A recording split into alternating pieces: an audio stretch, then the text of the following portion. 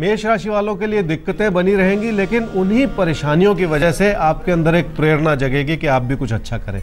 जब भी ऐसे हालात उभरते हैं तो एक बहुत बड़ा आशीर्वाद होता है इस रूप से। क्या करना चाहिए समय में? लाभ का सुंदर योग है, सफलता आपको ज़रूर मिलेगी, लेकिन आपको अपनी ओर से एक रेगुलरिटी बनानी होगी, ताकि आप नियमित होकर अपने प्रयास कर सकें, अपनी मेहनत कर सकें। क्या ना करें इस समय में? अपने रास्ते को आसान बनाने की कोशिश ना करें इस वजह से कि आप पैसा उधार ले लें। सवाल यहाँ पे यह है कि आप कितनी मेहनत कर पाएँगे और कितनी अपने लिए शुभता प्राप्त कर पाएँगे अपनी ही मेहनत।